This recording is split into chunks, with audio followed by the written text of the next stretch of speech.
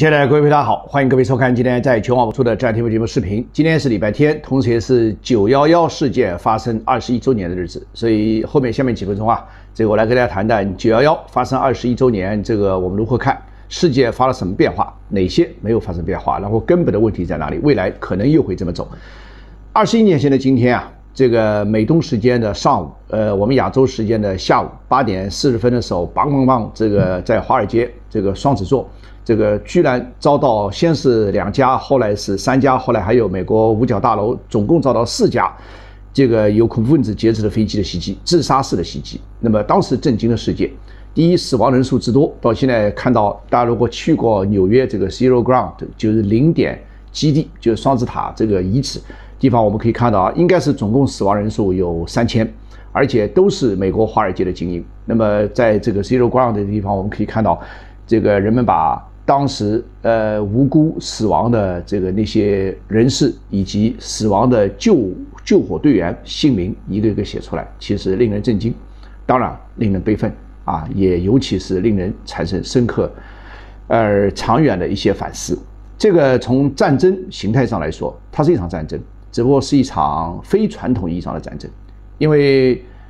战争嘛，一般都是两军相战，而且采用战争的手段，用武器。他居然可以劫持几架民航的飞机，用自杀式袭击的方式，然后在美国的军方和情报机关，换句话说，传统的安全机关完全无防备、无预警的情况下突然袭击。这说实在的，既是开创了打引号说非传统意义上战争上的一种先例，同时也是美国脸面无光。呃，美国的情报机关对于守土丢责，不是守土有责了，对守土丢责感到无限的这个无地自容啊。那么从这以后，美国的这个反恐啊等等啊，包括在军事呃理论上，把非传统这个安全恐怖袭击也包含在其中。所以这二十年、二十一年，应该说世界范围大规模的恐怖袭击相对比较少，尤其在美国本土。九幺幺是美国本土遭到的第一次的袭击。九幺幺到现在，美国本土没有遭到过重大的袭击。当然，后续如何啊，话不好说。但这至少说明一点：美国上下都起来了，都动起来了。而且，美国的反恐措施，这个投入了人力物力，投入的精力，投入的资源，甚至相当程度某呃也以损害呃公民的权利代价。进出过美国的人们都可以知道啊，这个包括在美国国内，这个。在宪法允许的范围之内的窃听，其实是个相当这个普遍啊。但是这客观上是恐怖主义在过去二十一年时间里面，在美国没有再出现。当然，与此同时，美国也动用了很多的全球的反恐力量啊，一步一步的在铲除，从开始的基地组织到后来的这个伊斯兰国等等。呃，现在为止有没有完全斩草除根？不得而知，但至少从本拉登以及基地组织和伊斯兰组织等等一二号人物这个先后被剿灭，应该说也是相当程度也是剿灭了恐怖主义的基础。但是这个根会不会再继续长出来？这不是一个军队，也不是反恐能解决的问题。这坦率来讲是一个文明对话的问题啊！这我一会儿再讲。第一个，第二个呢？呃，在投入了如此大量大量的资源之后，在九幺幺之后也发生，美国也发动了两场，呃，传统意义上的。这个战争，一场是阿富汗战争，一场是伊拉克的战争，而且当时全部以反恐为名，在这个国际的政治舞台上以正义为名，当时谁都无法阻拦。事后我们现在可以看到，无论是阿富汗，阿富汗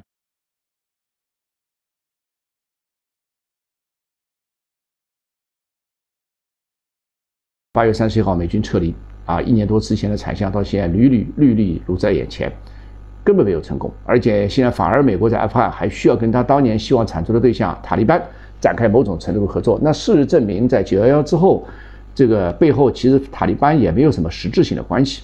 伊拉克那就更加荒唐了。所以当时的美国总统小布什以及由他所代表或者周围那些新保守主义分子以反恐为名对伊拉克展现武装袭击，铲除了。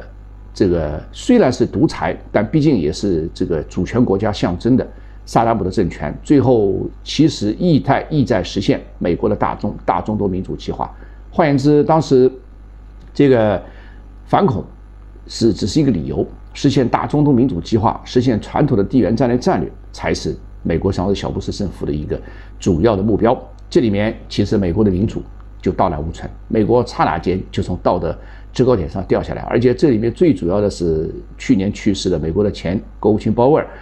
人生最后一丝的英名就丢在这个上了，在联合国安理会上还拿着中央情报局的假证明来作伪证，最后美国是在没有联合国这个授权的情况下，可以说悍然发动了对伊拉克的这场武装侵略，颠覆了一个民族政权。所有的这些啊，其实都是在过去二十一年当中发生的事情。那么其中有本来的这个表层意义上的反恐，因为毕竟你要把恐怖分子斩草除根嘛，根没有解决；同时也有衍生性的这个原来已经深植于人类结构深处的那些地缘战略冲突，借着反恐的名义又重新甚嚣尘上。就像两年前的疫情来临之后，本来人们以为这是一个全球的呃健康危机，但没想到原来深植于我们深处的。这些传统的矛盾反而会成为一个爆点，反而会引引发出来甚嚣尘上。所以人类历史有时候走着走着，它就会让人产生很多的唏嘘。但这里面最关键的一点，就是二十一年之前，这个当时人们就提出一个问题，说美国要汲取教训了。虽然恐怖主义谁都不赞成，但是恐怖主义之所以会产生这些根源，人们要有严肃的思考。人无缘无故。我们经常说，没有无缘无故的爱，爱也没有无缘无故的恨。凡有恨必有根，凡有爱必有情，对不对？那么，既然有如此深仇大恨，尤其非传统意义上的以滥杀无辜、自杀式表现出来的这个仇恨，当然它有伊斯兰极端教义分子的那种教义上的极端，但它本身也是一个手段。根本的原因是什么？根本的原因其实就是在过去几十年。积累起来，由科技革命、全球化和市场经济三者合而一合合而为一。我说三梯量良药、甜药放在一起，如果处理不当，就有可能成为砒霜。而在过去四十多年的砒霜效应之下。在国际经济秩序已经产生严重失衡的情况下，说在这种严重失衡已经导致了现在的全球化的死亡，导致了地缘战略的冲突的不断起来，也导致了西方对包括中国为主的这些国家的这种敌意，以及未来的战争的风险正在越越来越向我们走近，以及在各个经济内部也不断的产生社会骚乱和革命。这个就是全球化问题不在于全球化，问题在于全球化没有得到很好的管理，或者全球化被错误的管理，这才是问题。那么，这种全球经济失衡的背后，其实它是一种文化秩序的失衡。我们看到伊斯兰国家大部分的这些人民、这些国家，其实都是经济相对比较弱的国家。而在我经常举个例子，就像两人，一个不会游泳，一个会游泳；一个游泳健将，一个不会游。两人如果同时发给他们一个救生圈，让他们去横渡长江。横渡黄河，这没有意义。这种表面的和这个游戏规则公平的背后，其实是赢家通吃。所以最后的所有的荣耀、所有的财富都会归于游泳健将，所有的愤懑、所有的这个怨恨都会归于不会游泳的人。所以从这意义上说，这些经济秩序的背背后，实际上是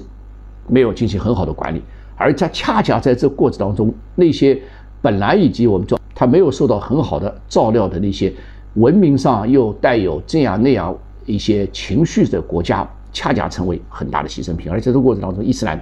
团体。